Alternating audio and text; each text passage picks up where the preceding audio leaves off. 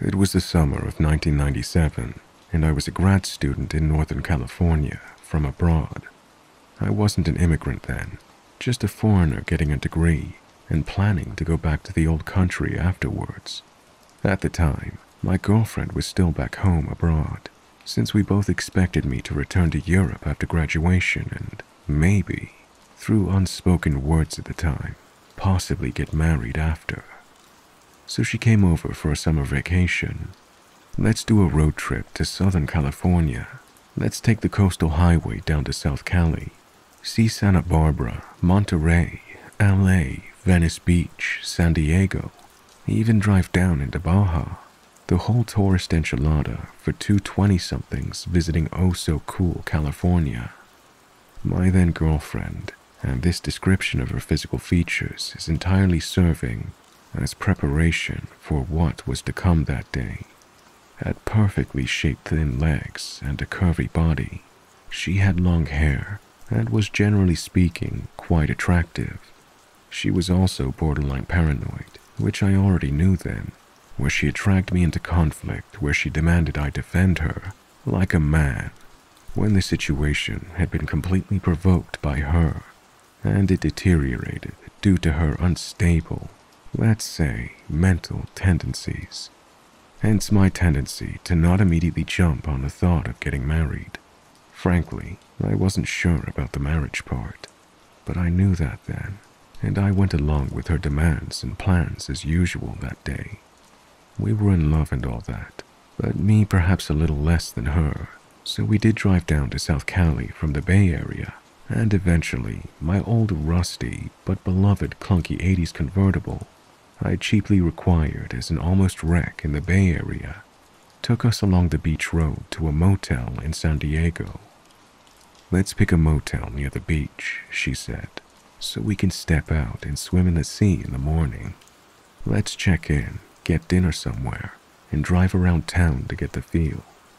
Okay, what she wants goes. She pointed at a motel across the coastal road. There was one after another, but she knew what she wanted, so she chose. This is the one, she said. Let's park and see. The vacancy sign was lit. The parking spots in the motel courtyard were all but empty. I drove in and parked. I'd driven the whole day and she could see I was tired. I'll drive later, she said sweetly. I was grateful. She goes to the motel counter while I unload our suitcases. Coming with the suitcases to the reception, she's talking to a youngish, tall, dark blonde guy behind the counter. Not too bad looking. He's looking her up and down with small eyes, clearly checking her out. Looks at me, then turns around grabs a key from the board and says, I got the perfect room for you. And he leads us to the outside stairs. The motel is just a chain of rooms lined up, all of them looking towards the ocean. The doors toward the motel parking lot courtyard. He takes us up to a room right smack in the middle of the long building. It was the second floor. The entire motel seems empty. I'm tired but why this room, I wondered. Hauling the luggage, I thought to myself, why not downstairs, or at least one of the ends? The view is the same everywhere. As we enter, I notice one smaller door next to our motel room door, which says, Service personnel only. Our room is right next to it. It's built narrow, but has a big bed and a bathroom, and on the left wall, just across from the big bed, a giant mirror on the wall of that service room. The guy nods and leaves us to it. As soon as we're alone in the room and he has left, I turn to my girlfriend and say, Don't you think this is weird? What? she says. I point at the mirror and take a closer look. Yeah, it's fixed into the wall. It's not one you can remove. I find this really creepy. Don't be paranoid, she says. Okay, maybe. I have to get something out of the car, so I step outside, only to see Mr. Motel Man just stepping out of the service room, locking it behind himself, and heading downstairs. Once I was back up, I took a big textile blanket and hung it over the mirror. Maybe I am paranoid, or maybe I'm not. If he was a peeping Tom, he didn't get anything.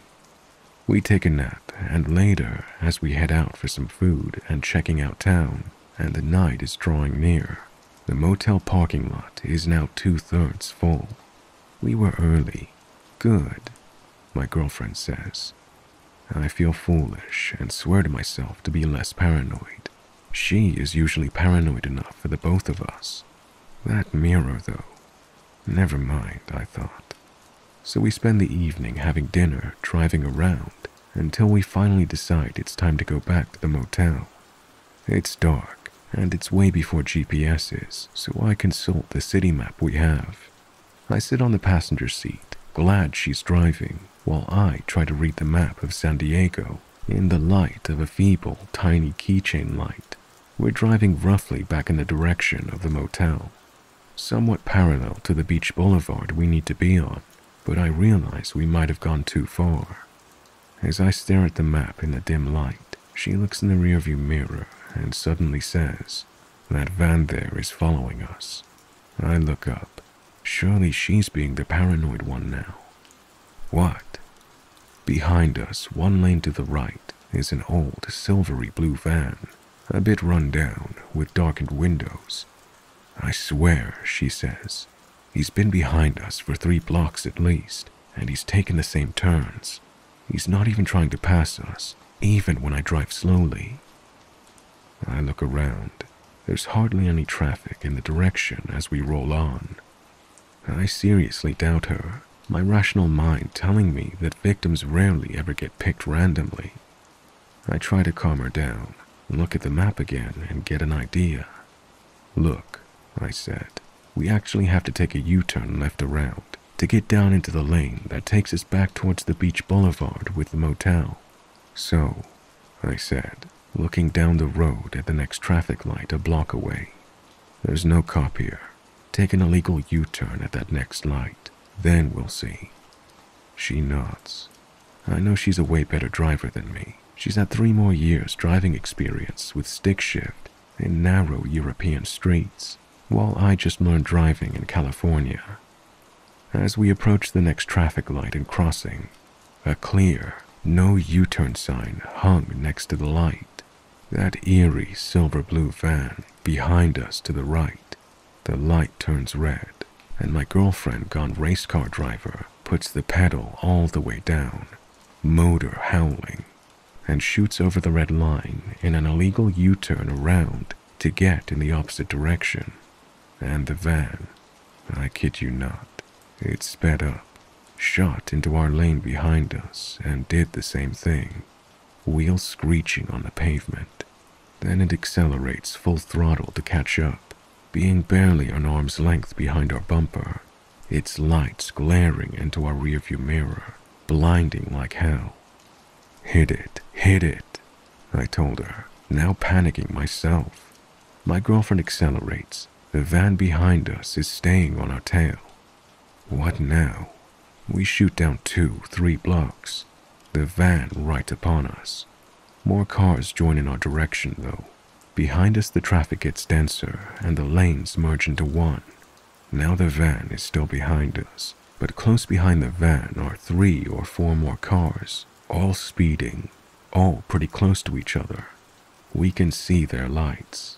We're back on the boulevard where our motel is, one lane road, many fairly close parked cars to our right, with just the occasional gap or entries to the other parking lots, a concrete barrier to the left. No room to go but forward. We're moving fairly fast, easily 60 miles per hour. We're for sure going way past the speed limit here, but so is everybody else. How do we shake this van? Surely we shouldn't lead them straight to the motel. My girlfriend's super driver suddenly hits the brakes and veers to the right. The van has no choice. It cannot brake or it will get hit by the cars behind it. It passes us on the left, immediately followed by three, four, five more speeding cars tailing it, all fast in one lane, while my girlfriend swoops the car perfectly into what feels like a tiny pigeonhole of a parking spot. We can't stay here, I muttered after we come to a stop and catching my breath, totally stunned by her skills. I know, she says, and hits the pedal again, shooting out into the traffic. But now we're behind the van, safely at at least eight or nine cars behind it. They can't possibly know. Just 200 yards further down came our motel. She took a swing into the parking lot. We parked and rushed up into our motel room, the one with the creepy mirror. I looked back the whole time, wondering if anybody had seen us. But nothing, just a pleasant summer evening wind. I didn't sleep much that night, and neither did she. Just another tourist summer night in San Diego.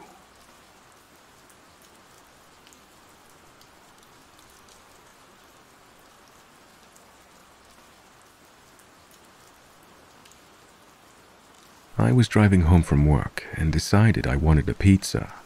I pulled into a pizza shop near my home. It's a Saturday night and it's pretty busy. It's staffed by three young girls. When I say young girls, I'm talking like teenagers. I don't know how it is elsewhere in the world, but working at a pizza shop here in Australia is very much a get paid cash after school type of job. As I'm ordering, the girl taking the order is really distracted. She's looking past me at something. Then, as I'm trying to pay, she yells out to the other two girls prepping and cooking something like, Oh, thank God, Matt is back. As she said that, a delivery boy walked into the store, but pretty much came in and straight away did a 180 turn, taking more pizzas and leaving. I pay and turn to sit and wait. And that's when I see what the girl had been looking at behind me, standing next to the entry door, peering through the shop face window, is a visibly terrifying man. He was about five foot eight, in his late twenties or early thirties, rat-like, pudgy, unnaturally pale with dark spots under his eyelids, long and greasy dark hair, and sharp-looking, almost cylindrical teeth. Weirdly, I thought, huh, maybe that's her friend. Obviously, I got bad vibes, but my initial reaction was just confusion at the sight of him. Anyway, another guy comes in to pick up some pizzas pretty much right as I sat down, and the girl freezes while serving him too. But this time she apologizes and says something like, Sorry, I'm a bit distracted because this guy won't stop coming to my work and staring at me through the window.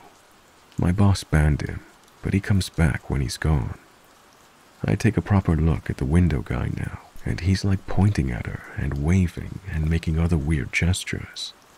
This instantly made me very uncomfortable, so without really thinking, I went outside and confronted the guy about what he was doing. I had a fair bit of adrenaline and don't really remember what I said, but it was something along the lines of, you have to leave. You're scaring the workers. He just stared at me and did this weird wheeze in exasperation, like a dismissive wheeze. Then, through a wheezy voice, he said, I'm not doing anything. I said, You're being a creep and you're banned. Get out of here. Then I went back in. The creep walked off, and I thought it was solved. The girl thanked me and asked what he said. I said he didn't really say anything, and she explained some stuff to the other guy before, and also said he had said some really inappropriate and gross things to her. Just as I'm sitting back down, the guy comes in with a blank card in his hand. I said, What did I just tell you? Get out of here. But he makes a beeline straight to the counter and orders a pizza. The girl froze up and I could tell she made the choice to put through his order because she was scared of how he would react if she didn't. Then he came and sat right next to me and said, See, if she didn't want me here, she wouldn't have let me get a pizza. It gets a bit hazy for me here because this is where the trauma happened, but I'm pretty sure I told him he was disgusting. Then he got angry. He stood up, bent forwards towards me, and was screaming, I haven't done anything wrong. What did I do? I'm a good boy. I've got a good heart. Tell me, tell me, what did I do? How would you feel if someone said stuff like that about you? And it's whack, because even though I saw exactly what he'd been doing and the effect it had on a teenage girl at the counter, I felt like I was in the wrong for telling him to stop. He was right up close to me now and yelling. He was fully raging out, and I wasn't sure what he was going to do next.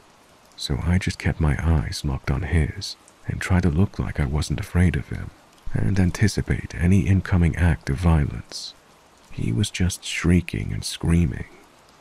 Then the eldest of the workers came out from the kitchen and said, Stop yelling. If you're going to yell, you have to leave. And he did stop yelling. His whole demeanor changed. Now he was kind of jovial and conciliatory. He put his fist out to fist bump me, and he said, You're a good guy, I can tell, or something to that effect. I wouldn't fist bump him, and he sat back down. Now he was just talking at me, blabbering and shit. I wasn't really listening and told him I didn't want to talk to him. The girl he had been targeting was just staring, making these big, freaked out eyes. They fast tracked his pizza and tried to send him on his way, and out the front, he started talking to this really big guy and was pointing at me through the window. I spoke to the girl, and she thanked me profusely even though I didn't really do anything. I actually felt like I made it worse. She said she gets really freaked out because he comes by when none of the male workers are at the shop. She also said the guy had found her on Facebook and he'd been sending her creepy messages. I told her to make sure her parents knew about this and to tell the police. It turns out the big guy at the front was the owner. The girl had called him and he'd come back to the store. He finished talking to the guy and came back behind the counter. And afterwards, the creeper let out the longest, guttural, and rage filled scream. I'm guessing his ban had to be re explained to him.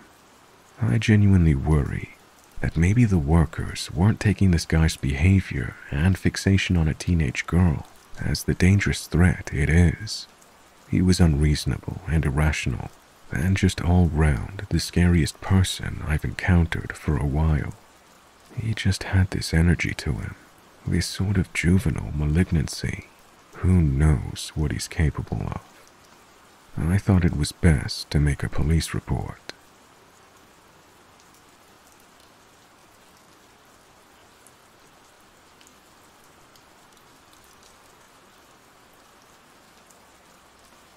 This happened back in 2010 when I was 21. My best friend and I had blown off any sort of responsibility for the whole summer and chose to just party instead. It's probably no surprise that by the end of the summer, we were both evicted and now condemned to our parents' houses until we got our shit together again. One night, we were at my mom's place playing Left 4 Dead until about 2 a.m when Cam decided to call a cab and head back to his mom's place. He had to use my phone to call the cab company because he forgot to pay his bill. This was also the days before Uber and Lyft, so you'd have to call the station and they'd send a cab. About 15 minutes later, we could see the cab waiting outside, and he got in and left. About 10 minutes later, I got a call on my cell phone from the cab company. I knew the number by heart so I knew it was coming from the central station.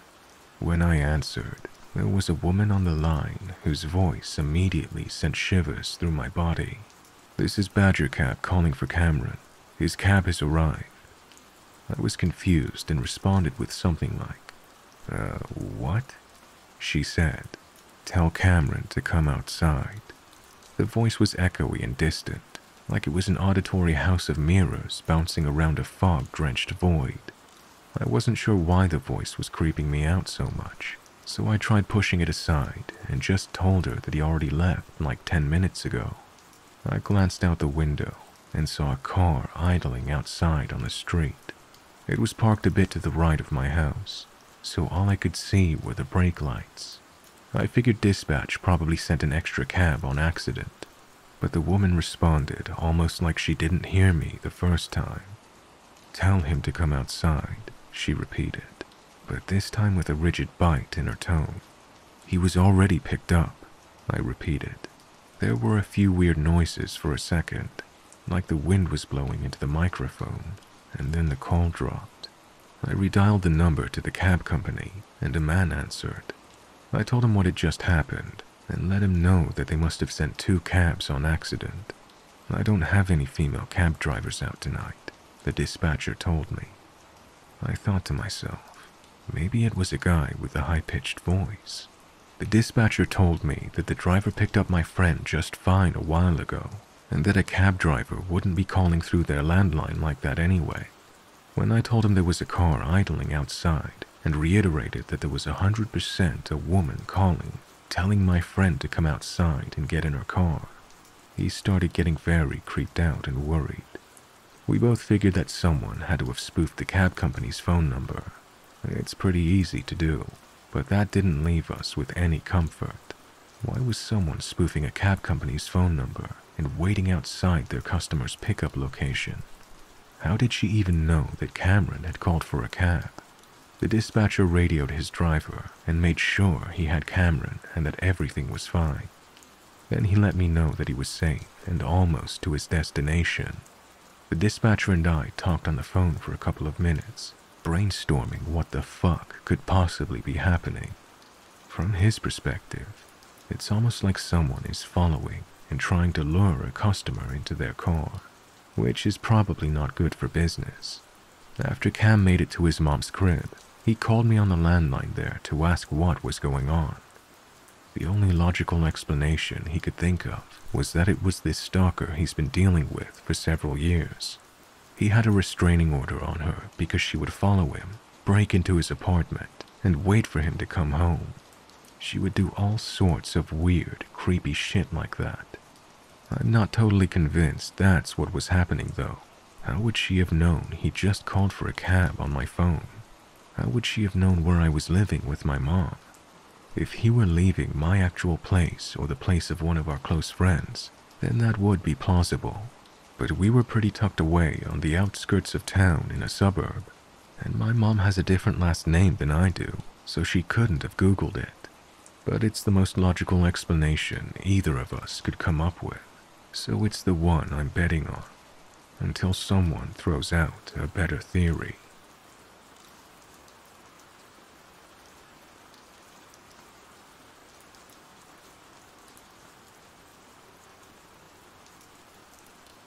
This happened to me when I was 19, which would have been in 2003. I was born and raised in a small town, and I was pretty sheltered throughout my childhood and teenage years. I was always warned about stranger danger, but had never really been in a bad situation before. That is, until this happened. After high school, my best friend Jennifer moved to LA to attend USC.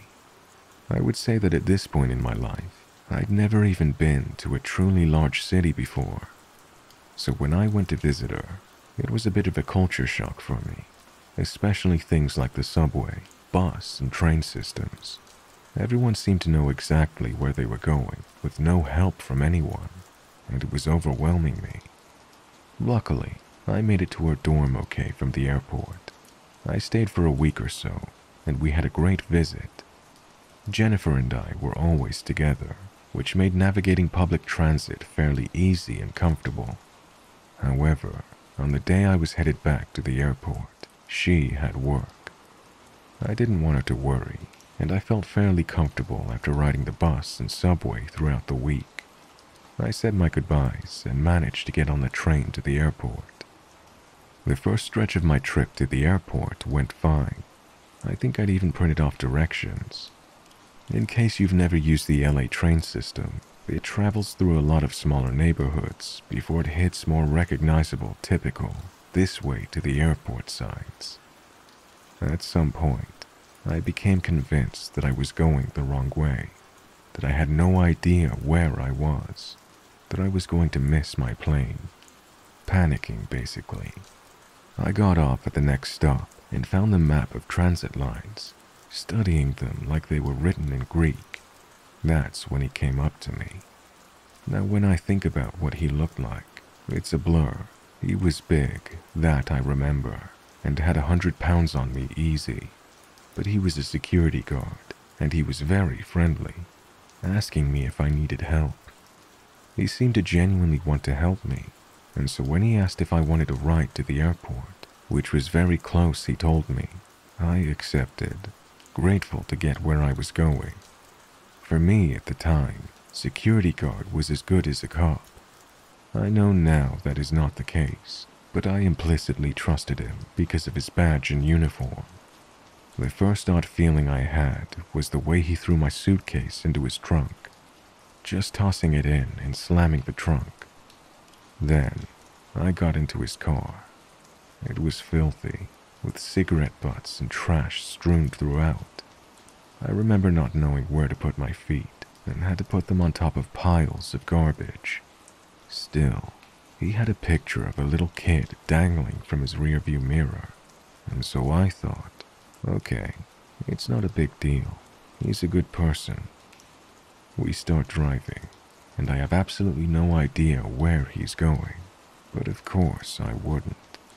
However, after a while, it's clear he's not going to the airport, or at least not the direct route. I try and stay calm and ask him questions. He asserts that he knows where he's going, that this is the fastest, secret way, stuff like that. We end up in a pretty abandoned business area, a place for freight and other businesses that were either closed or empty. There wasn't a soul in sight, just deserted stretches of road. He begins circling the same streets, retracing where he's already been. At this point, I'm freaking out, but I don't want him to know how scared I am. It's here that I feel like I wake up to the bad position I'm in. He had these reflective sunglasses on and was smoking cigarette after cigarette. After a while of me asking where we were and where we were going, he stops talking altogether, refusing to answer me. After a long period of driving in silence, he starts to ask me about my underwear, how long I'd been wearing it, what color it was. At first, I played along, trying to be cool, I guess. I made up the color they were, saying that my boyfriend wouldn't like the conversation, stuff like that. I tried to placate him, not wanting to make him angry. Then he told me he would give me a hundred dollars just to see my underwear, and he began to reach over and tried to touch me, my knee and thigh. I just told him no, not interested, and he did not stop trying. And At this point, I am fully aware of the danger I'm in. The only thing I wanted was to be able to get out of the car. I began to think of how bad it would hurt with how fast we were going. I began to tell him that if he just wants to drop me off, I can have someone come get me.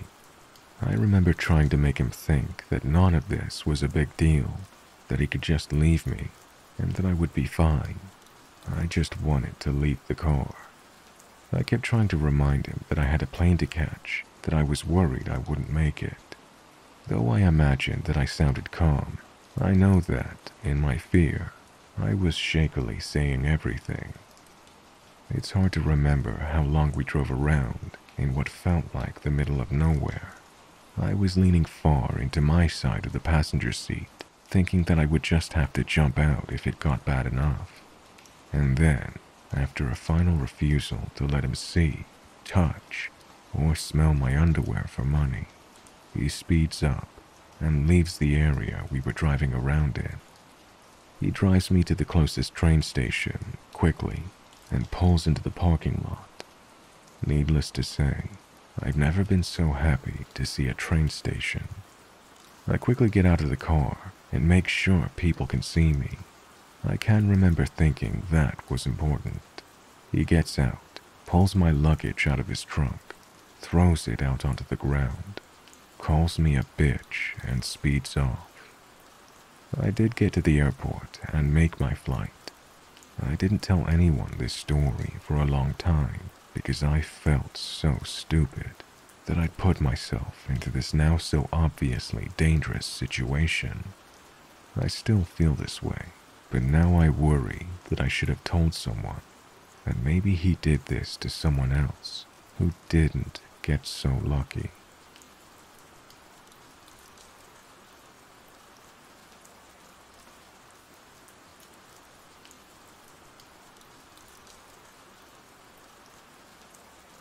This happened to me four years ago in June. Our school exams start around June 20th every year, and well, I chose to not do math the entire year and study hardcore the last month. Our school is a private school that I can't afford without a scholarship, so I had to have good results on those exams. So, I got a tutor, who's also my best friend's mom. I spent almost every day at their place, which is on the other side of our small city, I live in Armenia for context, and we're a poor second world country, so our public transport kinda sucks, and taxis are expensive. I have to take shitty minibuses for 40 minutes every time I go there and come back. Now, until then, my experience with public transport was pretty mild. I'm a girl, which, if you're not an ogre, results in at least a small amount of unnecessary attention, but you get used to it after a while. Nothing too worrying. I got hit on once or twice and stared at a lot, but it doesn't really bother me. I get away most of the time because of my chronic bitch face. I look like the most unapproachable person on earth, let alone the bus or the station. So when this happened, I was beyond shook. That particular day, I had to stay longer than usual. It was four days before the exam, and I was extremely panicky. I should also note that I looked like absolute shit. My hair was greasy and in a bun. I was wearing a huge hoodie and sweatpants. I'm not saying that's a horrible look for everyone, but me in particular. I look like a potato sack with a head, and an onion on said head is hair. So I got out around 8.30 p.m. and it was getting dark. When I got on the bus, it was fully dark and the bus was entirely empty. I was sitting on the first seat next to the window on the left, and as I said, I was the only passenger here. So two stops later, three men got on the bus. This guy, who had the full ability to sit anywhere he wanted, sat next to me. I didn't really give it much thought because, hey, it's the first row seat. Maybe he just sat where he could. The other two guys sat in the front, next to the driver's seat. We drive for another two stops, and a girl gets on. The guy next to me gets up and moves to the seat behind. The girl sits next to me. He started talking to her, and she seemed quite uncomfortable, although she giggled along. On the next stop, he moved to the singular seat right next to the window. Now, this is where the first of the red flags start to show. He turns to us full body and continues talking to her saying, Pretty girl, when you getting off here? Maybe with me. And she's saying no and giggling uncomfortably. At this point, the driver himself is side eyeing this guy. A stop later, she gets up to pay and he touches her thigh. She turns around and yells at him to stop. The driver turns around and calls him a son of a bitch, tells him to sit back and not move until he gets off the bus. Kudos to the driver, honestly. Shit like this is common bus culture. It happened a couple of times to me, and nobody said anything. Regardless, she practically jumped off the bus and sped walked away. My heart was racing at this point. I know it would have been noble of me to protect her, but I honestly couldn't. I was scared of this guy, and I wouldn't have been able to stop him. It's now 9.45 and the streets are emptying. I had my earphones in, but I turned the music off because, fuck, I'm scared of this guy and I'm alone with him, with no one but an old man who's the driver and one of the guys from earlier who's fast asleep. That's where he turns to me. How old are you? I didn't answer and pretended that I didn't hear him. He didn't ask again. I was facing away from him, looking out of the window. Instead, I saw the flash of his camera. I turned around and he was holding his phone to me. He was grinning and looking at me, as if I was his friend whom he just pranked or something. I didn't say anything and continued to look out the window. At this point, I was full on panicking. I opened my bag as casually as I could and mentally screamed at myself. I'd left the pocket knife at my friend's earlier that week, and I kept forgetting to take it back. So I took my pencil out and quickly put it in my pocket. Then another flash came, this time with the camera clicked too. I literally dialed 911 and sat there, and I texted my friend. Then he was typing something. We got to my stop, and I didn't get up for the bus to stop until we were right at it. The second it was about to pass my stop, I basically screamed at the driver to stop. He abruptly stopped and I got off real fast. The guy didn't have enough time to get off after me as the driver drove off as soon as I left, probably because he'd realized what was happening and he didn't want that guy to follow me. I still don't understand why anyone would need a picture of me. I don't even want to, especially not then, like that. A couple of days later, when I was at the bus stop, now heading from my place to my friend's place, I saw that guy again. He tried to talk to me, asked me how old I was again. I promptly told him it was none of his business and walked away. He tried to follow me, but I went to the local pet shop. I never saw him again. I still don't get it, but for fuck's sake, I really, really never ever want to see that guy again.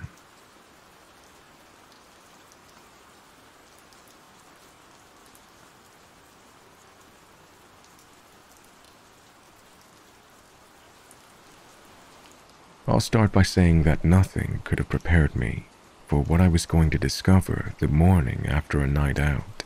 It started as every other night would. Me and my family got ready to head to our local bar for a fundraising event.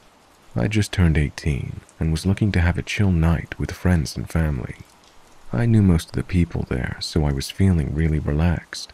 While at the bar, I went to pay for my drink when the bartender told me it had already been paid for.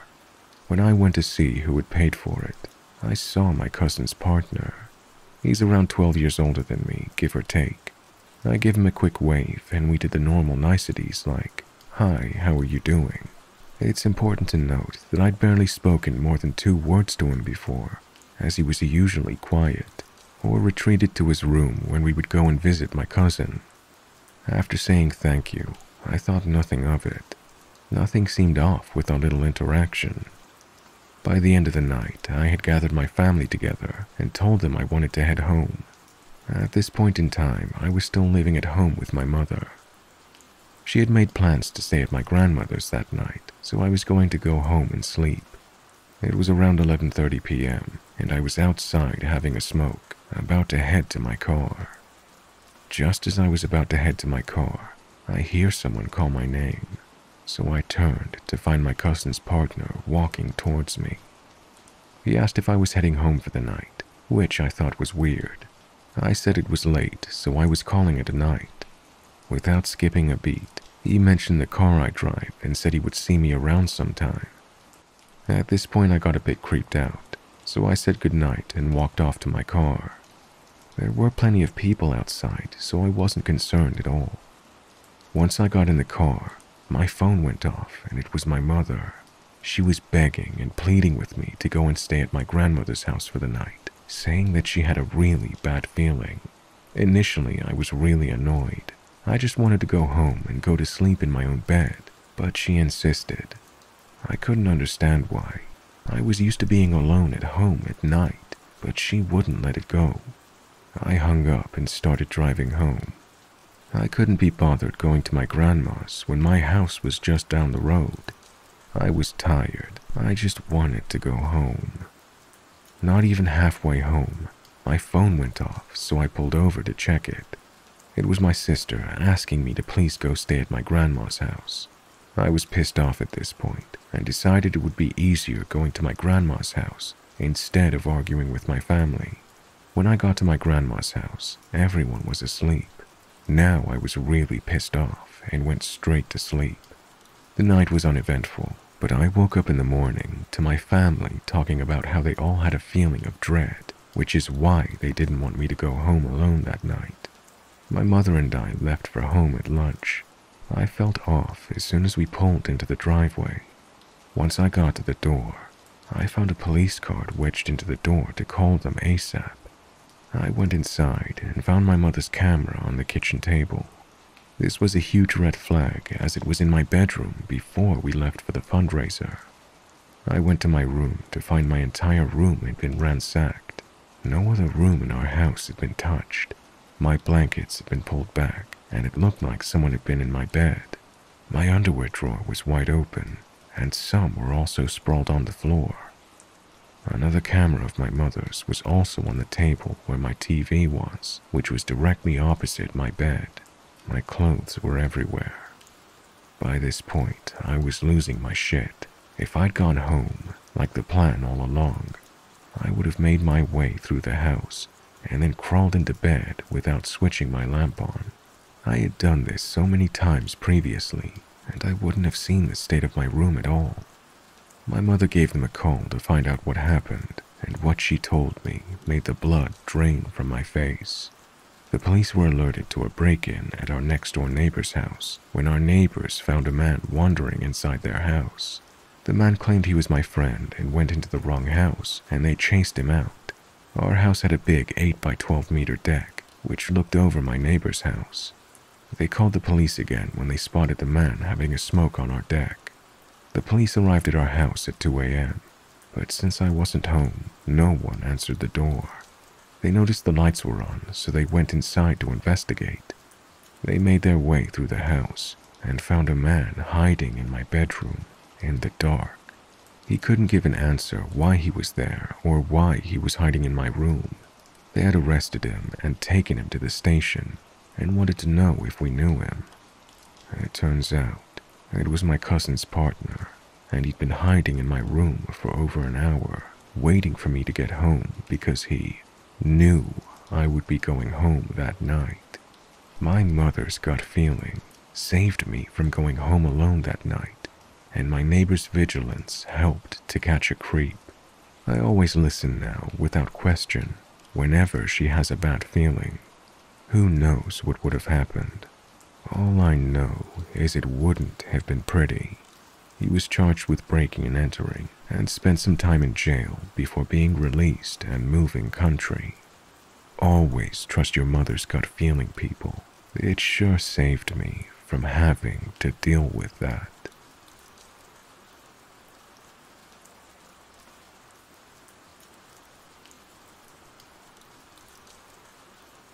It has been a while since I last posted a story about a suicide house, but I've had several requests for more stories about my experiences in the field of trauma scene work. If you don't know what that is, I used to lead a crew that would go in after a murder, suicide, unattended death, accidental death, fire death, or any manner of incident that caused damage to a structure that left behind a scene that the victim's family shouldn't have to see. Now I know my stories are not scary in the haunted or serial killer type stories, but the fact is, most people couldn't handle walking into a scene like many of the ones I've been on. We've actually had to be careful how we train crew members who work on such scenes. It was often a volunteer basis for working on those types of scenes, meaning we didn't force anyone to go to a house where the dad killed all the children before blowing his brains out in the La-Z-Boy we just didn't start someone in training and then go, oh, and by the way, we're going to a multiple homicide. Anyway, if there was a way to describe some of the sights and smells of doing this type of work, I'm sure you would see how truly scary or messed up this all is. First of all, I have to say that suicide is not glamour, nor is it ever over for those around you. If you need help, please get help. Don't let your loved ones find you that way. It not only changes them, but changes the feeling inside the house. Anyway, back to my story. This took place in the late 1990s, just before I got out of the field. We got a call to dispatch a crew out to a house, and we were told that there was an incident with at least one death. Sometimes it's given to us that way, but never like a real whole story. But sometimes we saw the true story on the evening news, or even a neighbor that talks too much. We arrive at this house. It's a modest house, but not really a high end home. It's not quite a low end one either. It was a two story home about midway into a cul de sac street. As with some scenes, there's a cluster of neighbors outside looking at who we were and why we were there. The sheriff's department had just released the scene, so all of the crime scene investigators had already done their job. As I approached the house, I noticed a ton of what looked like bullet holes in the stucco, broken glass, and a long blood stain on the driveway. We went inside and had to suit up almost immediately, as the police had probably used tear gas. There were bloodstains all over. It looked like as if someone had been dragged through the house with blood gushing. There were areas that had pulled up blood. There were areas where it kind of looked like explosions had happened, to which I assumed flashbangs were used, or maybe the guy inside had shot up. What probably strikes you the most in situations like this is how benign the underneath looks. I don't know how to describe it, but just imagine, if you will, a place looking like the inside of a home, molded out of a TV set of Full House. Now imagine the same TV set with blood smeared and pooled, bullet holes, and tons of broken glass. I mean, they seem like a very normal family. I remember in their living room a big blue woodcut sign that said family. You know, before live, laugh, love signs were in style. And under that sign were a bunch of family photos of kids, parents, Christmas, graduations, and vacations. Other things in the house was a wall dedicated to the dad's love of his sports teams and pictures of him with his buddies at games and stuff. So, what happened? From what we pieced together from the news reports, neighbors who wanted to talk to us while we were cleaning his blood off the driveway, and from the scene itself was that the dad went crazy. He'd been talking about demons. Not like I got my own demons, but actual demons. He was sure that he was being attacked by the devil and that demons were trying to take the souls of his family. So rather than to let the demons take his family, he killed them so they would go to heaven. He ended up barricading himself in the house. It looked like some family members tried to get away after being shot and stabbed, but one collapsed in the kitchen, and one escaped somehow and was pulled out by police. The guy ended up shooting back at the police, and the neighborhood was evacuated for blocks. I can't say that all happened for sure, due to the fact that we arrived on the scene much later, but that was what the people outside were saying. In the end, he escaped the house and ended up on the roof still shooting at the police. They shot him down and he fell from the roof, and that was his blood we were cleaning from the driveway. He murdered his wife. One of his older children later died in the hospital. One of the kids was killed inside the house. One escaped, and I think another family member that lived with them was unharmed, as they were not at the house when this all went down. It took us a lot longer to clean this scene, as there were so many holes, and we had to remove almost all of the carpet and soft surfaces due to the tear gas. It was a terrible scene inside. I know this might sound religious or whatever, but come across enough of these scenes, and you start to really believe evil does exist.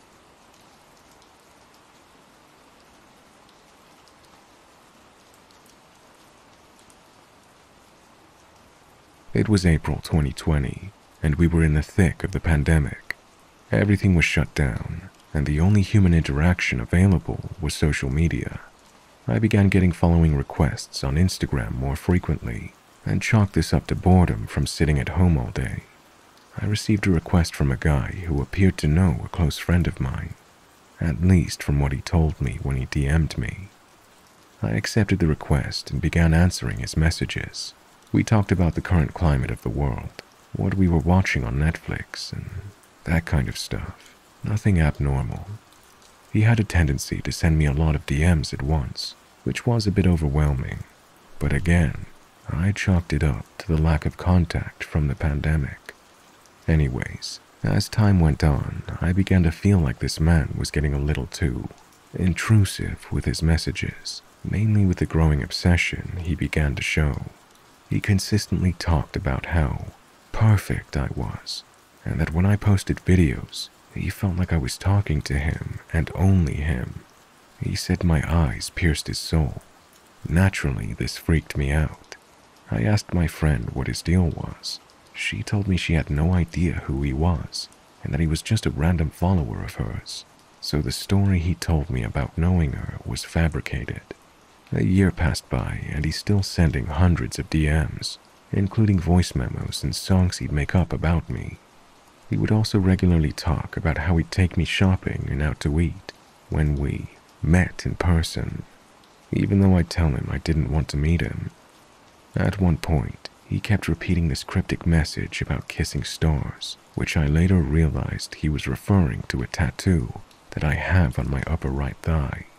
He was trying to tell me he'd kiss my upper thigh when he got the chance to meet me. I expressed disgust, which aggravated him. He seemed to not like the fact that I was openly repulsed by him, which should have made him go away, but I think he liked the chase of trying to change my mind. I'd block him, but then he'd message me on another social media platform. He was not letting up. I tried being polite. I tried ignoring him. I tried being rude. Nothing was working. Then, after I posted a short story time with a couple of weird voice memos he'd sent me, he somehow found the post. I did not include any of his information in the video, but he found it somehow, and he sent me my address to tell me to take the video down. I did immediately. He began to ramble about how he would never hurt me, and this was just to grab my attention. It was very creepy. The creepiest of all, though, was when he sent me 101 voice messages describing in disgusting detail how he would stand behind me while whispering in my ear and grace his lips across my neck, and I'd receive his touch. I literally felt sick to my stomach. I didn't listen to all of them because it made me physically ill. Fortunately, since the last time I blocked him, he has not tried to reach out again, at least to my knowledge. I don't understand how someone could become so obsessed, yet never meet in person.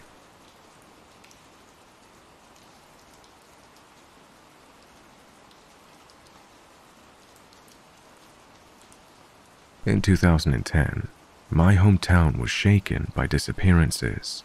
First, there were small children missing, a new report every week. In the same month, a woman disappeared too, and people started speculating that it could be organ trafficking related. Everybody talked about a black Jeep SUV spotted in the days of the disappearances. My mom was working late in the center of the city, so I went to see her one evening. I stayed until about 10 p.m. and decided to walk home despite her pointing out the danger in the city. But I was determined to have a walk and assured her it was safe, that people were all around the streets at that time. Other than the bus station where I saw a few taxis, there wasn't a living soul in front of me or passing cars. No noise except for the river. And I had to pass a bridge then after about a hundred meters on the left of my street just a couple of minutes' walk to my home. As I walked on the bridge, I saw a black SUV Jeep parked in front of me on the corner of the street. On the street I had to pass. The second I saw it, the lights went off. I couldn't hear the engine at the distance, but I'm certain they shut the engine off so I wouldn't notice them and walk by.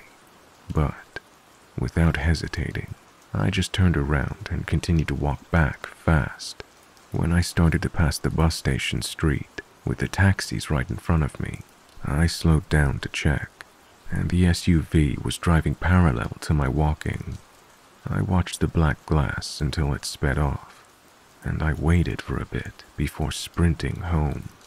Maybe a week later, I was on the phone with my boyfriend walking home, and again it wasn't late. As I passed the spot where the SUV was parked previously, I decided to pass my street on the right side because there were houses I could easily approach just in case. As I was passing my street, I heard a car the second I was stepping on the right side. Still on the phone with my boyfriend. The car pulled over on the sidewalk. I ran in the front yard of the first house. A man got out of the back door of the car and started approaching me. I was telling my boyfriend what was happening and went closer to the front door of the house. The man started yelling something at me in Albanian dialect and finally got back in the car and they sped off. There were four men in that car.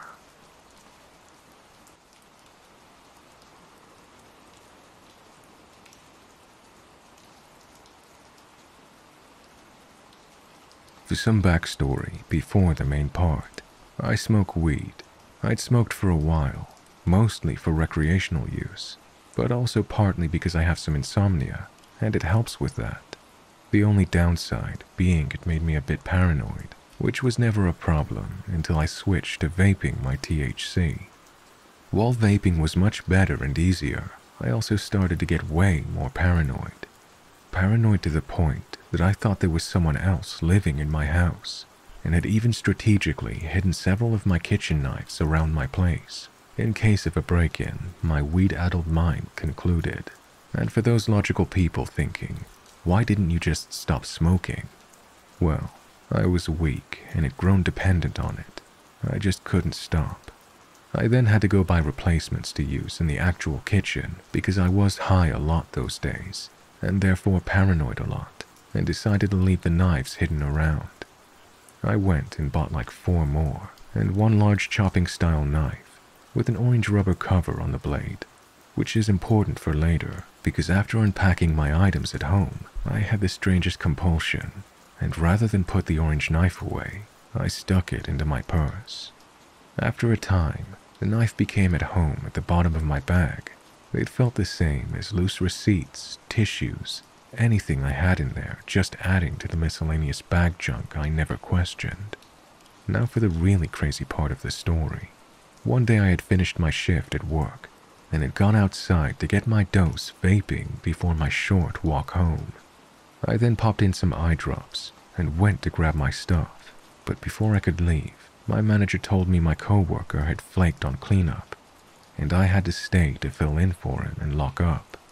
Needless to say, I wasn't in the right mindset to argue, and it took way longer to clean and lock up than it should have, mostly because my manager flaked on me as well, and I kept getting distracted. When I left, it was pretty late. I was sober, though not much, and made the poor choice of going the 10 to 15 minute walk home rather than pay for a ride, and the even worse choice of taking a few vape hits before I set off. That's where the real story starts. The streets were a lot quieter the further I got from work, and the paranoia started to set in. I was glancing around lots, and that's when I noticed him. There was a man on the other side of the street who'd come around the corner. He was in dark clothes with a big jacket and cap on, despite it being dark out. My hackles were already raised at this point, and all my paranoid energy was hyper focused on him. So when he crossed the street to walk behind me, I was instantly on edge. I couldn't relax with him behind me. I had a terrible feeling, so I crossed over to walk on the other side of the street. Now, you can only imagine my horror when rather than stay on his side, he crossed over with me. My brain immediately pulled a red card on that move. Alarm bells were going off, but I wasn't sure I wasn't imagining things in my semi high state. So what did I do? I crossed the street again like an idiot and then proceeded to silently lose my shit when he followed me. I panicked, knowing I'd probably given myself away that I knew he was following me. There was no one close to help me. I was alone on a dark street with this creeper who wanted God knows what from me, and I was unarmed. Except you're not, the thought popped into my head. I remembered I'd had that big orange covered knife in my bag. My bag was wrapped over my shoulder in front of me, so he couldn't really see me open it and shakily rummage around for the knife. I cannot describe the small rush of relief I felt when I had it in my hand, even more so when I took the cover off, and it glinted back at me. When I looked back, The man was a lot closer and walking quickly towards me. I froze and stopped walking. He looked spindly as hell, and I thought I couldn't outrun him. So instead, I turned around to face him in what was both the stupidest and bravest moment of my life. He seemed surprised by that, but only when he saw the knife in my hand did he stop approaching me. We both just stood there, staring at each other. I couldn't really see his face from the shadow the cap cast on it, so I had no idea what he was thinking. I was a barely composed mess, but I felt the strangest confidence radiating from the big ass knife in my hand, while his hands were empty. It was the same confidence mixed with my high brain and a nagging feeling that made me step forward. I was stiff and terrified, but my body started moving on its own, and I started to walk towards him, staring straight at him. He didn't move an inch, but as I got closer and closer, he finally shifted his weight and slid a foot back. That little movement must have triggered some long dead predator bullshit instinct in my lizard brain, because suddenly my gut screamed at me to rush at him. And so that's what I did. I broke out into a run straight at him, and he nearly fell over his feet, turning around. I got so close to him, I could have touched the back of his coat, but instead swiped downwards with the knife that I didn't even remember raising. It slipped across the fabric, but snagged on the hem for just a second. It would have fallen out of my hand if not for my death grip. He must have felt it, because in the next second, he was bolting down the pavement like a man truly running for his life, and I, for whatever reason, ran right after him. He very easily outpaced me, but I didn't stop, and when he made the mistake of looking back with what I imagined was a horrified expression, he stumbled slightly. I think he might have rolled his ankle or something, because he was suddenly much slower with an odd run. There was so much adrenaline pouring through me I didn't feel afraid anymore. I felt so alive. I even felt a sadistic sort of pleasure watching him scrambling to get away from me. I think I might have laughed out loud. It all came to a stop when my sane brain finally asked me, What will you do if you catch him? Now that thought immediately shut me down, and I stopped running after him. I watched as he raced off and disappeared around a bend while I panted. I was bent over, hands on my knees, trying to catch my breath, trying to understand what just happened. Was I still so high I just imagined it? Did I just really run after a man with a knife? What would I have done if I'd caught up to him? The adrenaline rush quickly just turned into sheer panic and disbelief. I started shaking like a leaf and realized I was still holding the knife. I threw it into my bag, turned around, and started to run again. I ran until my lungs burned and my whole body ached, and then I just painfully jogged and walked until I finally made it home, locking my door behind me. I dragged myself to the kitchen, pulled water out of the fridge, and collapsed on the cold floor. I was shaking so much, most of the water ended up on my face, clothes, and all over the place. I may have also cried a bit. After sitting there for God knows how long, my mind running the scene over and over in my head, and all the terrible ways it could have gone wrong, I finally came to a conclusion that I was lucky as fuck to have made it home, and that I was going to stop vaping since I had no damn control over myself. Sure, my paranoia made me notice him sooner and had me prepared with a knife, but it made me an easy target. It could have gone so, so much worse. It was my bad decision making when high that let me think it was a good idea to walk home so late. I eventually got off the floor and went to my room and flushed my vape juice down the toilet. I went back into the kitchen and took the knife out of my purse. It had jostled when I ran and tore up the inside of my bag a bit. I was both relieved and weirdly disappointed it didn't have any blood on it, but I shoved that feeling deep down. I considered throwing it away, but after it saved my life, that just felt cruel. So I put the orange cover on it and left it on the countertop before taking an hour long shower, crying a ton more, and then crawling into bed. So, yeah, essentially, this is the crazy story about how I quit weed and terrified myself for months afterwards. But now, when I look back, no matter how terrifying it was for me, I can chuckle a bit and hope it was even worse for that creep. I hope the image of me running after him with a knife still scares him to this day. Oh, and I still have the orange kitchen knife in one of my bags.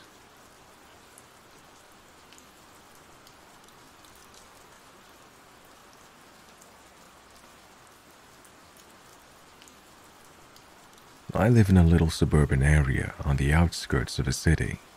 My apartment is on the ground floor and faces into a cul-de-sac with a car park. Recently, I've been hearing a lot of cat-related kerfuffle from the area. I didn't think much of it at first. There are plenty of cats, pets, and strays in the area. They fight, they screw, all that stuff. I'm well used to the kinds of unearthly noises cats can make they can be pretty freaky, especially when you wake up in the darkest hours of pre-dawn to them. Anyway, I'd been hearing this one particular cat, I thought, for several days, and it always sounded like it was coming from the car park. I know we, as humans, tend to anthropomorphize these things, but it was a sad little cry. After a while, I started to think that maybe this was a pet that was lost or hurt. Maybe it had been beaten up by one of the big strays in the area. The old heartstrings started to pull every time I heard it, but I couldn't spot the little guy anywhere. I thought about trying to put out some tinned fish or something, but there are so many other cats that I had no guarantee that this one would benefit from it. The next time I heard it, I decided to go take a more thorough look. It was about 10 p.m. and it was freezing cold, but out I went into the car park, looking around the bins and checking under cars. The cat stopped crying as soon as I opened the door, but I guess it must have heard a person and clammed up out of fear. I got about halfway across the space when a street light, right at the center of the cul-de-sac, the only one that lights up the space, went out. Now, that's pretty weird. The street light isn't motion activated or anything. It's time to come on at night and turn off during the day. It stays on all night. I've never seen it randomly turn off before. Alright, weird electrical fault. I turn back to my apartment. Fortunately, the motion activated light above my door that turned on when I stepped out is still aglow so it's not like I've been plunged into total darkness. Except that one turns off too, pretty much as soon as I turn around. Huh, what a coincidence of timing, I say to myself, trying to ignore the growing sense of unease. What do I have to be nervous of? I'm standing in a car park in a cul-de-sac, not the middle of the woods or something. But it's surprisingly dark out there without those lights. Fine. I'll just trigger my light again by moving around. And the damn thing wakes me up all the time because it's too sensitive. It picks up cars and people as soon as they enter the cul-de-sac. Except now, it's not working. I wave my arms, move closer. Nothing triggers it. Two weird electrical faults in a row. Not impossible, right? But I can't help but feel creeped out by it. Now the cat, that's been silent since I stepped outside, starts crying again. Except it's not just one cat. The crying is coming from several places at once, and started almost at the same time. There've got to be at least three or four different cats, screaming loud from different parts of the car park. I can't see any of them. It's just their weird alien voices. Enough is enough. I go back into my apartment. I'm not going out to investigate if I hear it again. It's not a paranormal event for sure, just a series of creepy coincidences. But still, it weirded me out.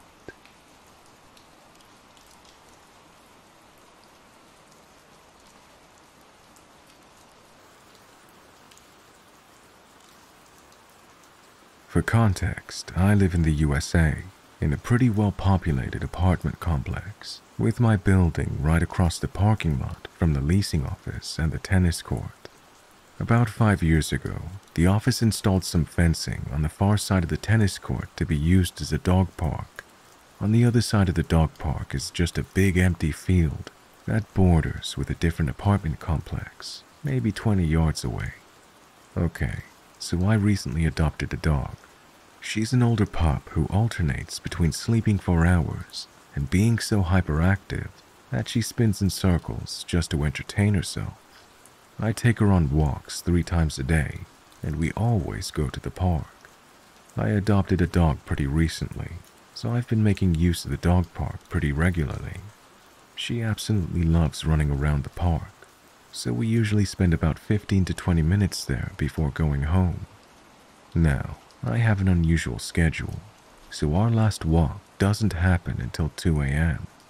This has never been a problem for us until lockdown happened and my state issued a shelter in place order. As a result, the lights that used to illuminate the tennis court and dog park have been shut off. I still took my dog to the park and I brought a flashlight along. One night, we finished our walk and went to the park like usual. My dog had been acting a bit strange, pulling hard on her leash and making grumbling sounds. But once we were in the park, she was running around like normal. However, as I was standing there, huddled in my coat with the hood up because it's cold and a bit rainy, my dog abruptly stopped dead. I figured she saw a rabbit or something in the field, so I turned on the flashlight to look around, and there, in the field, there's a man. He's pretty far off, but clearly walking towards us through the grass. I was a little spooked already because it's 2 a.m., raining and freezing cold, but the man doesn't seem to be wearing a coat or hat. I immediately decide it's time to leave. I went down the length of the park to grab my dog. I hooked on her leash and jogged to the gate to leave. Once we left the park, my dog went ballistic, barking wildly and yanking so hard on her leash that she was choking herself. I turned and could barely make out the silhouette of the man bobbing up and down like he was running after us. I didn't even bother with the leash. I picked up my dog and ran for my building, terrified that she'd claw herself over my shoulder to try and get to the man. Once I got home, I bolted the door and wedged a chair under the knob. It was probably a dumb thing to do, but I felt safer knowing it was there. I curled up on the couch in my living room, watching the window and praying no one comes up, while my dog stood still in front of the door, growling every time the wind blew or something shifted outside. I told my boyfriend and roommate what happened, but neither of them seemed as spooked about it as I was. I don't know what was up with that guy. I have so many questions about the whole incident but I'm too scared to consider what might have happened if the guy had been closer to the park when my dog noticed him. Or maybe I'm just paranoid and he was coming over to say hi at 2 a.m. in the freezing rain during a lockdown. Anyway, I'm scared to go out alone at night, so my boyfriend goes with me to walk the dog. We haven't seen the guy since, but I can't shake off the deep sense of unease that crawls up my spine whenever I think back on it.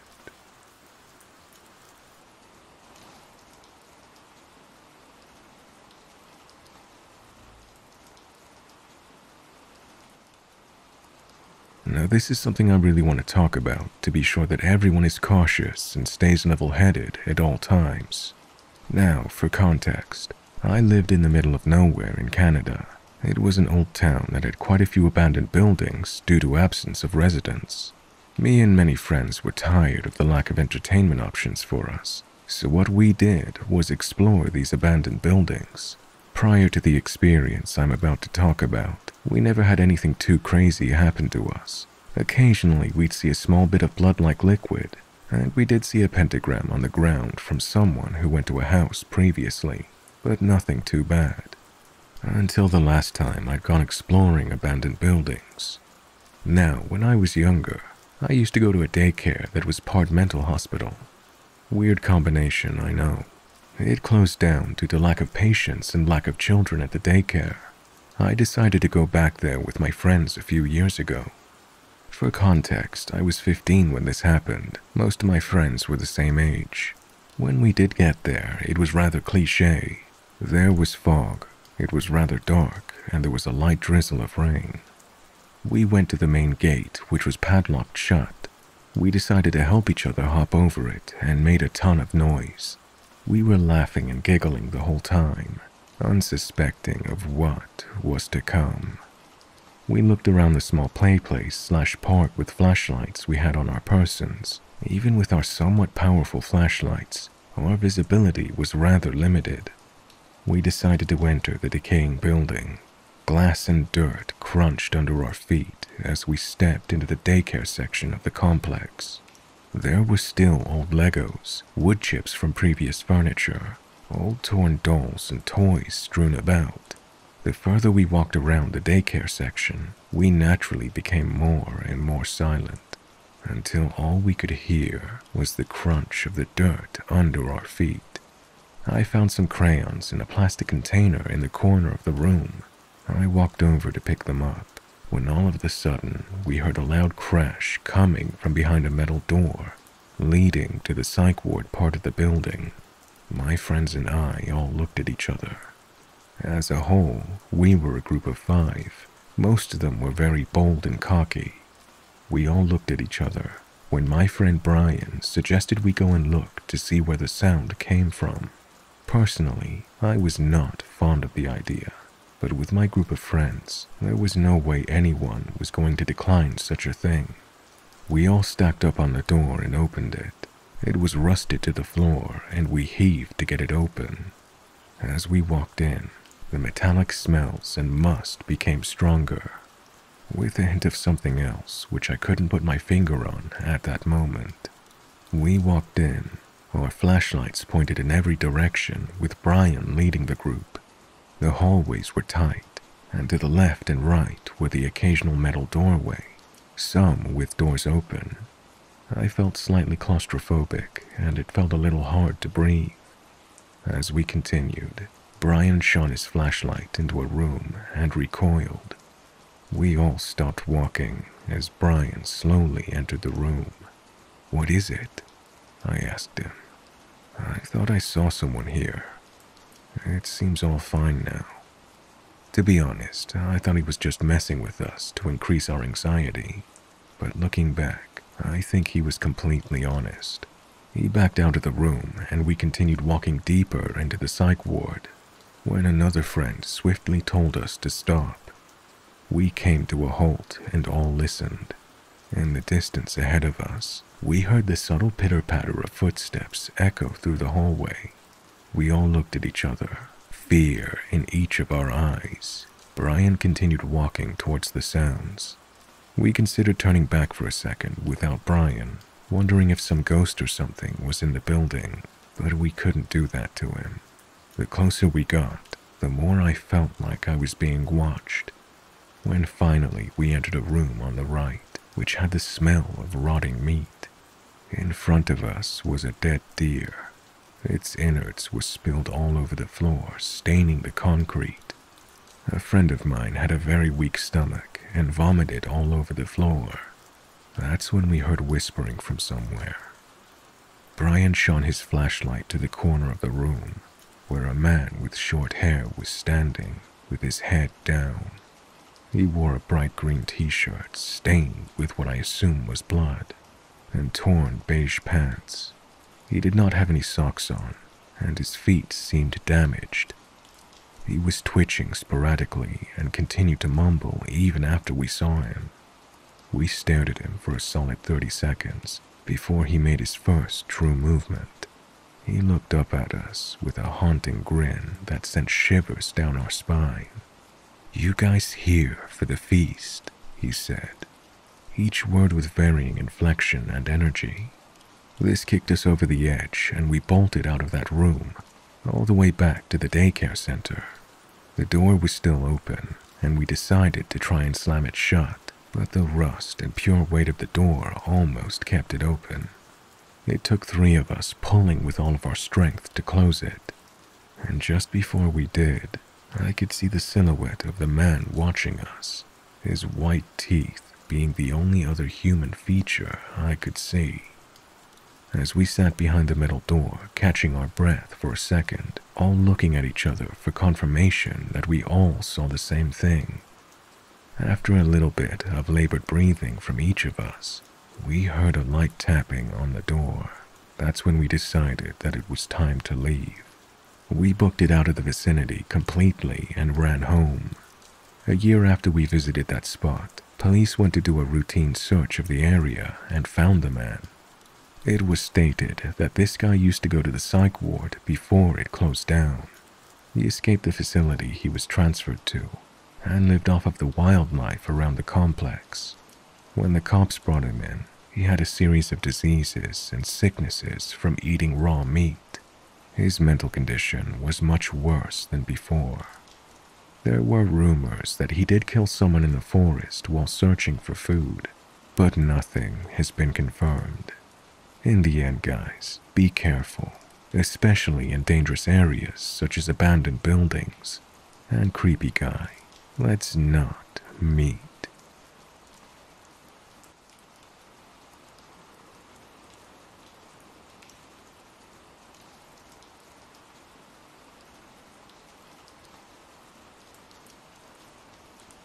I used to work in a casino. One night I was approached by an elderly woman asking about paging someone over the intercom. I tried explaining where to go, but she insisted I personally walk her to the desk where they can do that. As I walked her through the casino, she started talking to me. She mentioned she was a medium and how her family always strictly advised her against sharing that information with people. When you work in a casino, you encounter a lot of scammers and odd people I was polite, but tried not to engage with her much on the topic. As we kept walking, she said something to me about my sister. I stopped and asked how she knew my sister. She didn't, but started talking to me at great lengths about my family. At this particular time, my sister was going through a very difficult time in life that was impacting our family as a whole. I was skeptical, but curious. As she went on, I was careful to neither confirm or deny anything, but just listen to what she had to say. She went into great detail about how my father, mother, and even I played into the current situation. She even began to become visibly emotional, as if she could feel what my mother was feeling. I was utterly astonished, as she told me that I, being the oldest and most diplomatic in my family dynamic, needed to be more outspoken with everyone involved. Everything she had told me was undeniably accurate and insightful. But then she shifted her focus. She told me about someone I worked with and went into great detail about what this person looked like and how they felt about me. She talked about the dynamic between us and advised me to take caution. At this point, she'd lost me. I couldn't think of a single person or relationship in my working life that fit that description. I began becoming more skeptical again and reminded her I needed to get back to work and to keep walking towards our destination. She kept talking to me as we walked, and I began to once again find myself astonished as to not just what she was telling me, but also how she would go about it, her body language, expressions, and emotional energy. As we got closer, she abruptly stopped walking. When I noticed, I did as well and turned back to her. Before I could say anything, she placed her palm at the base of my sternum. I immediately noticed a physical sensation. I became paralyzed and almost felt like she was stealing the breath from my body. I started becoming hyper aware of my surroundings the lights and dings from the electronic games, the mass amounts of people walking by. But everything seemed to be in slow motion, or almost as if I was leaving my body. It could have been only a few seconds. It could have been 20 minutes. I don't know. But I felt as if I couldn't breathe, and there was weakness in my knees. I started to feel like I was on the verge of passing out. Casino security saw this encounter and approached us. When security interrupted us to ask what was going on, it must have startled her because I felt the shockwave through my entire body. She jerked her hand back and started apologizing profusely to me. As soon as she pulled her hand back, I was able to breathe again and gain control of my body. I was completely freaked out. It must have been visible because security kept asking me if I was okay. I assured them everything was fine and they walked off. I turned back to the woman who was still apologizing, and she said, If you don't do something about that ulcer, it's going to kill you. I was so freaked out, I told her thanks, but I have to get back to work now, and quickly headed back to my office. Not only was I in a bizarre headspace, but I was noticeably completely void of physical energy. The entire experience was the most profound encounter of my life and I will never forget those words and physical sensation. I was having a lot of stomach issues at the time, but I was far too scared to get medical verification of an ulcer. I had previously suspected it, and it was a potential side effect of the medication I was on at the time. But if that wasn't bizarre enough on its own, it gets even weirder. This encounter happened nearly 10 years ago, and it has sat with me ever since. But recently I was reflecting back on it. I realized that the second part about the coworker that initially made no sense at all, all of a sudden it did. That entire situation played out in my life a few years ago. The description of the person and the very specific details were 100% spot on from what was described to me 10 years ago. I even realized that the entire situation was initiated nearly seven years ago from the moment this woman described it to me. Not only were the two incidents separated by seven years, but the person she described I hadn't even met yet and was in an entirely different state and company. I don't know what to make of this. I've come here to see everyone else's take on it. I'm open to this kind of stuff, but I've always approached these situations skeptically. I'd love to hear what anyone has to say about it.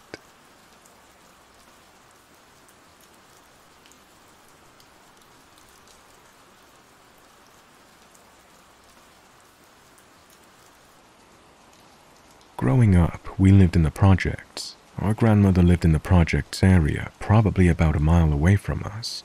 My younger brother and I went to take something to her, and then when we were on our way back home, it had started getting dark.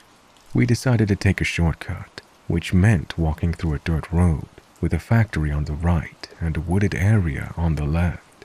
There was almost no light in the area, so imagine an 11 to 12 year old boy and his 9 to 10 year old brother working up the courage to walk through the darkness to get to the main road. We started off walking quickly to make it through there, and I was pretty much holding my breath the entire time because I didn't want to make noise. I didn't want whatever was out there to hear us. Finally, we made it out of the wooded dirt road and we turn right onto the sidewalk of the main road. We make it about 10 feet and suddenly we hear something behind us. I look back and my brother does too. We see someone come out of the same dirt road we just come out of. We turn around my heart pounding, and I say to my brother, They're following us. We need to hurry up. We still had a way to go to get home, and the only street light that we could see was down the road. I say to my brother while holding his hand, Walk faster. We hear the footsteps behind us start picking up speed as we are practically running. Once we notice this, I whisper, We're gonna run. Are you ready? Okay. Ready, run. And I start running, almost dragging my brother behind me. It's probably all in my head, but I swear I hear the person behind us running too. We run past two cross streets and run up a little hill and make it to the traffic light. We stop and look back quickly. It's so dark, we don't see anything. We still think we're in danger, so we run across the street and have one more street to cross, and the projects area would be in front of us. We run the remainder of the way home. We don't want to be told we can't go anywhere again, so we don't say anything about being frightened and running all the way home. Thinking back to that time, our imaginations probably got the best of us, or maybe we did escape. We'll never know.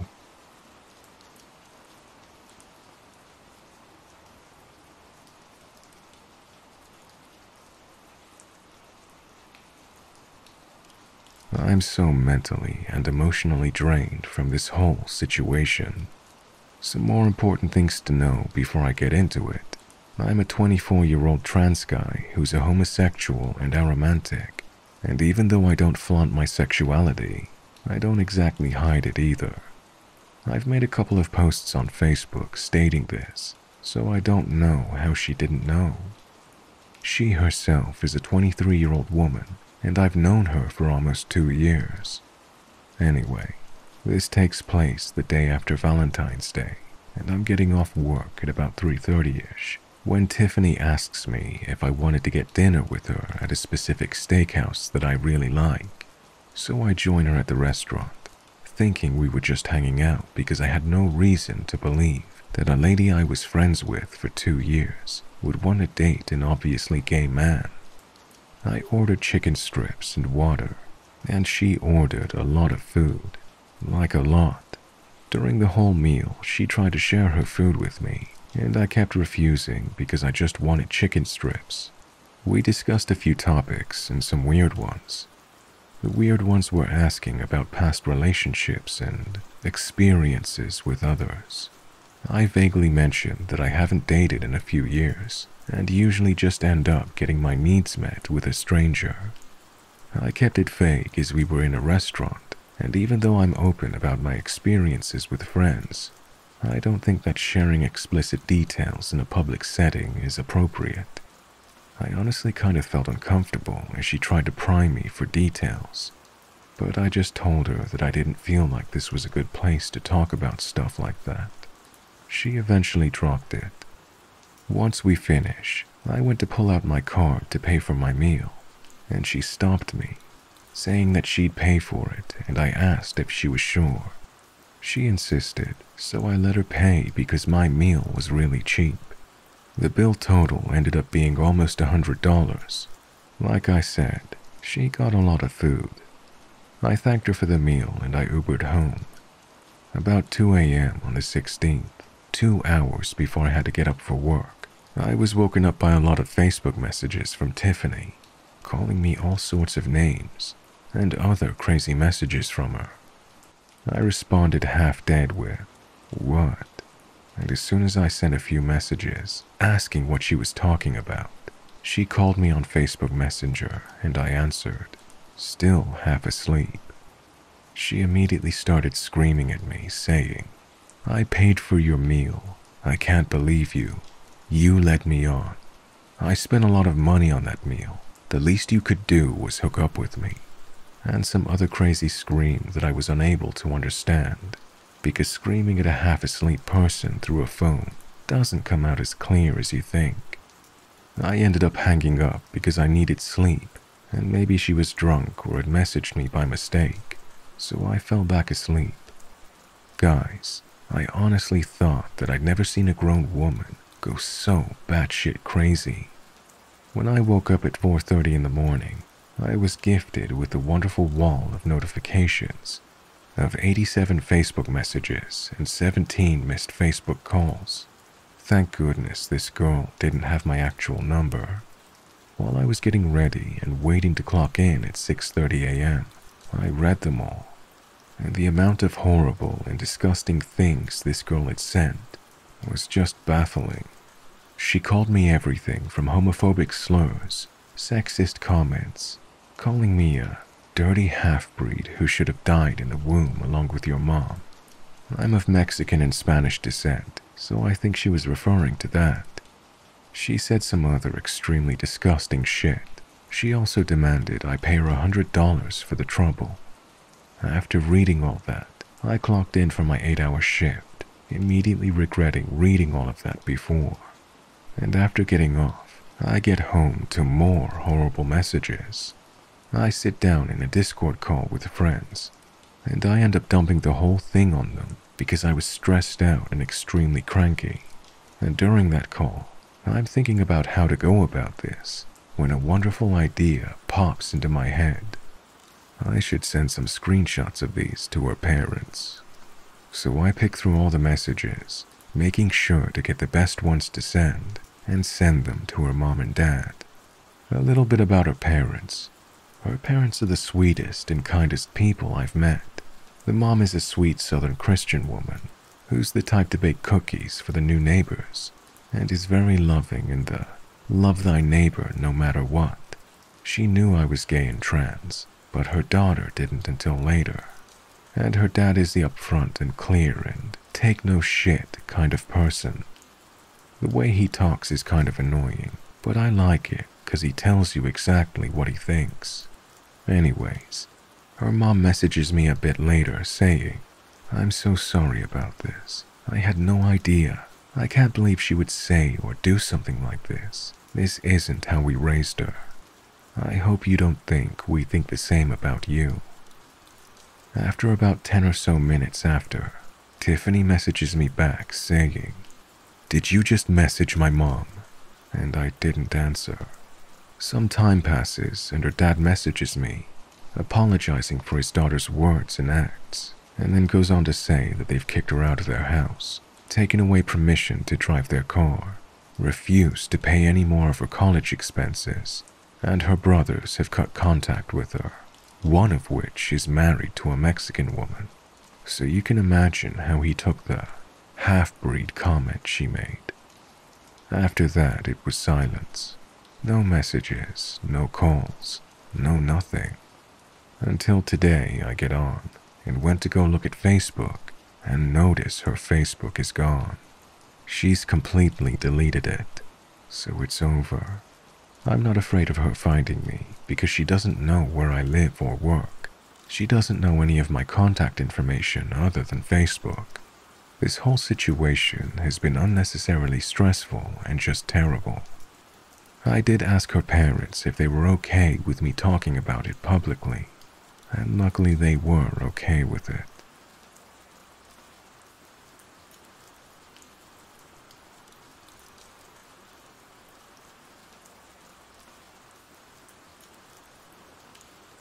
When I was in third grade, there was this girl in my class.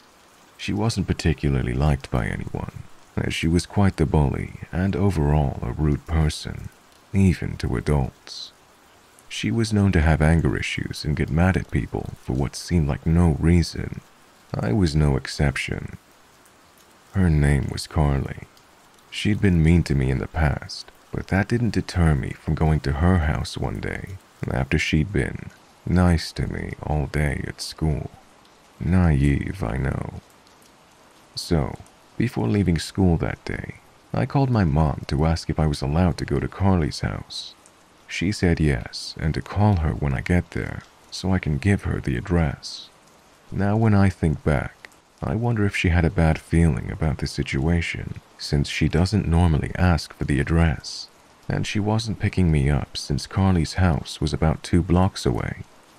When I got there, after calling my mom, of course, Carly insisted on making me look pretty, aka wetting my hair and brushing it. I let her. Then she told me to close my eyes and that she was taking me to the living room. I closed my eyes and she began to guide me towards the bathtub. We were already in the bathroom, so the tub was a solid two feet away from where we were standing. I opened my eyes just enough to see where she was guiding me. My foot hit the side of the tub, and I said that this didn't feel like the living room. She said that it was, and that I just need to step over the gate. I tell her that I know this is the bathtub.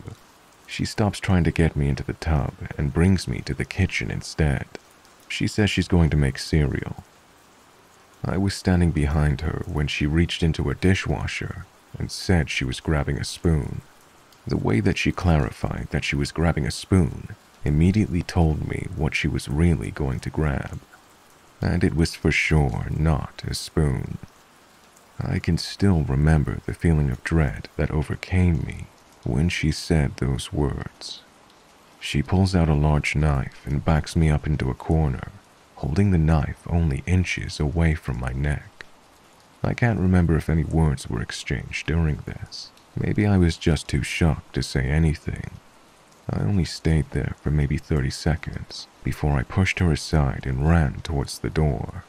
I grabbed my backpack and put on my winter boots. By the time I had my boots on, Carly was trying to block the sliding door. I pushed past her again and flung open the door. I ran down her patio steps and out to her front gate, not bothering to close it. I just wanted to get home to where I was safe. I remember her yelling at me as her dogs escaped through the open gate. I didn't care. One of her neighbors, who was in their front lawn, waved and smiled at me, clearly oblivious to what had just gone down. I ran down the road into my house, not stopping once. It wasn't until I was in the door of my house that I broke down. I began to cry and yell for my mom, my two older sisters yelling at me to shut up.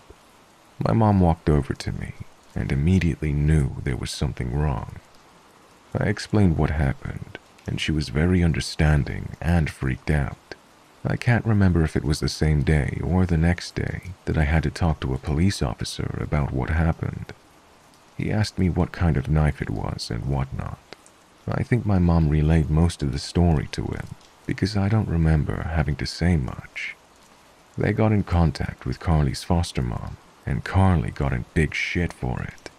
At school, Carly yelled at me for getting the cops involved and tried to guilt trip me by saying that her mom threatened to put her back into foster care if she did anything like that again.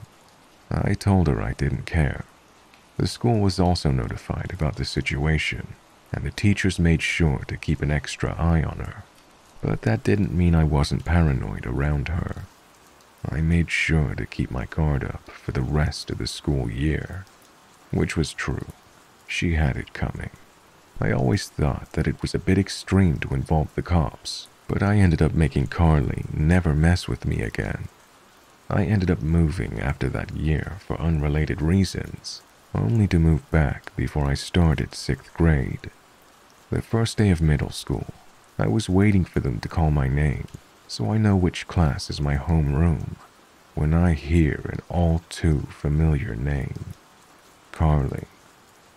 I watch as no one goes up to join the class. Was she not here? Next, I was called. I go up to join the class that she would have been in.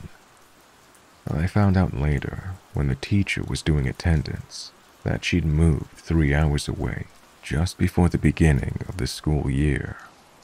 It's been years since then, and I can only hope I don't see her again. But if I do, I'm not too concerned, and if she does make an appearance, I will make sure that she stays away from me. That incident has given me some trust issues, but at least now I know how to choose my friends wisely.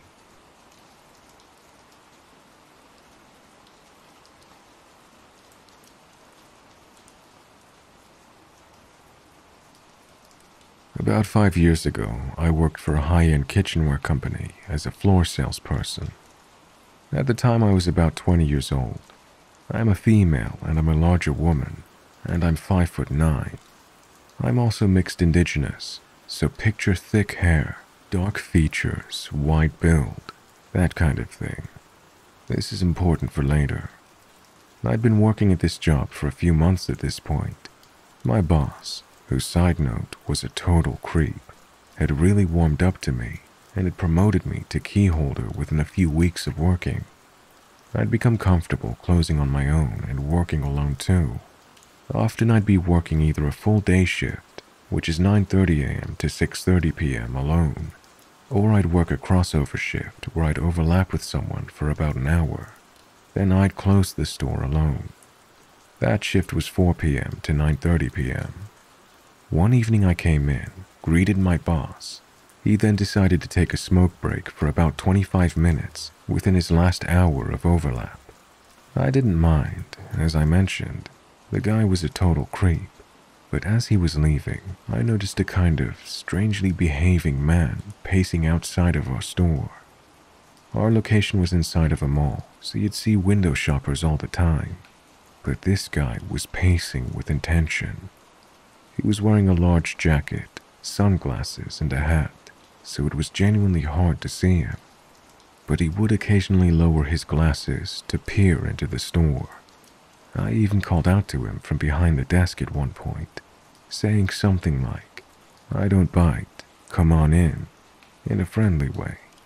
He shook his head and said, just looking, in a low but clear sounding voice. He backed away, leaving the storefront. I brushed it off as some random just being too nervous to come into our store. Whatever, it happens all the time. It was at this point my boss returned from his smoke break and began finishing up a couple of his end of day tasks before leaving. I mentioned to him that I accidentally scared off a nervous window shopper. We kind of laughed it off and disregarded it as nothing. But something felt weird. He was pacing for a solid 20 minutes just by the window, staring in. Again, though, it's retail. I chalked it up to weirdness. After a few minutes, the phone rang and I picked up. On the other end was a guy with a low and clear voice huffing, asking about getting a gift for his girlfriend. The conversation went like this Oh, no worries. We have a couple of options for gifts. Is she looking for knives, dinnerware? I, uh, don't know.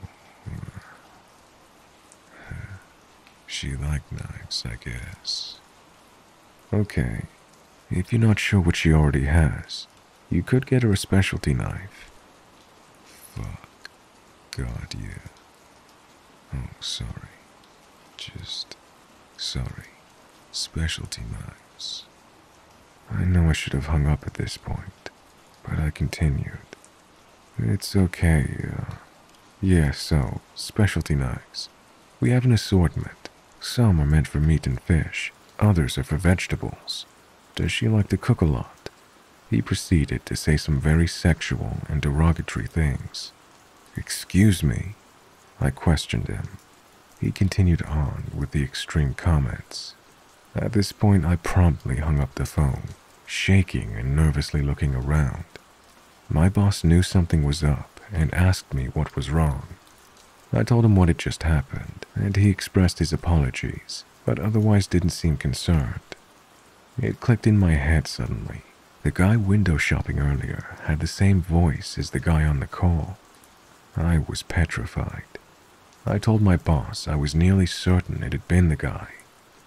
At that exact moment, my boss got a call from his very young girlfriend, and he had to leave 15 minutes earlier than he had planned. So, there I was, alone in the store, and stuck there for another four and a half hours. The stars were not aligning for me that evening. I ended up calling security and let them know I'd received a threatening call from a customer who I was fairly sure had been wandering the mall. They stationed an officer near the store for the remainder of the evening, but I still felt entirely on edge. Every call after that I let go through to voicemail. I was too scared to answer again. I was also working at another store in the mall at the time.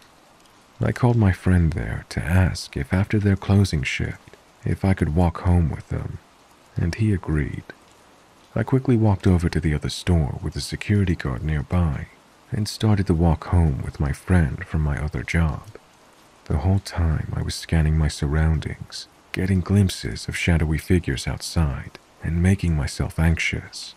Eventually, I got home, calmed myself down, and tried to get some rest.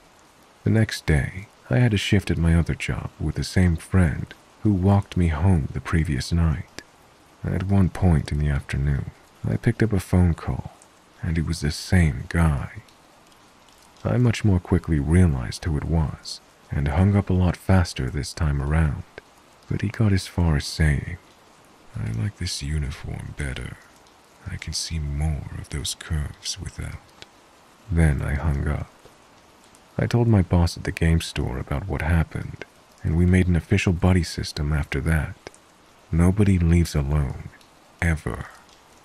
Luckily, we always worked in pairs, but we didn't separate until we were either at the bus stop or at home. Nothing happened after that, thankfully. It was just awful having it happen back to back like that, and with no conclusion. The security guard stayed on alert for a while. I ended up speaking to other female workers in the mall, and as it turns out, there was a handful of plus sized women getting harassing and violent phone calls for a little while, but they never caught the guy doing it. I still think about it years later. I wonder where he is and what he's doing. I never saw him again. I don't think at least. And if I did, I would have known. Anyway, thanks for listening. It feels good finally getting that off of my chest.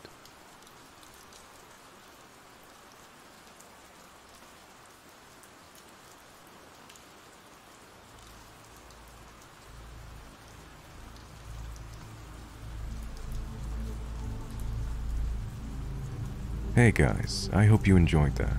If you have a scary story of your own to share and you would like me to feature it on the channel, please send it to the email in the description. Or if you prefer, head over to my subreddit r slash stories from Mr. Revenant. It's the stories that keep the channel going. Thank you all for listening, and thank you to my channel members and patrons Samantha, Erica, Alyssa, Tracy, Killian's Place, April, James Arterburn, Jen, Joy, Handout, Pegasus Genesis, Karen Keating, V. Berry, LJ, Fiona X Fox, Scott, I Like Booty, Monica Level Ace, Chris and Donna, Holly Spry, Kimber, Jasmine, Sanatix, Heather Haven, Kitty Cat Luna 2, ADHD Aurora, Janice, Cinderella Baby, Borderline Betty, Lady Dracard, Erica Nicole, Snowball Rathina, Melanie, The Honeybee 987, Pretty Girl 215, Ryan, Brooke, Wendy, Crafty Kel, Tina, Dina, Vampy Debs, Patricia, Amber, Krista, Brenda, Absinthe Alice, Christy, Kay, Spider's Web, Ooh La La Andrea, Sue, Monique, Sean Gorman, Emma Lisa, Sigma Cube X, Greg, Chelsea, Amanda Jane, Sam, Zep Teppy, Sarah C., Austin, Tegan, Lil Smart, Jenny, Gabrielle, Fire05, Sarah P., James Gargano, Gemma Allen, Monica Level Ace, and Alex. I hope you're all doing well, guys. I'll see you all on the next one.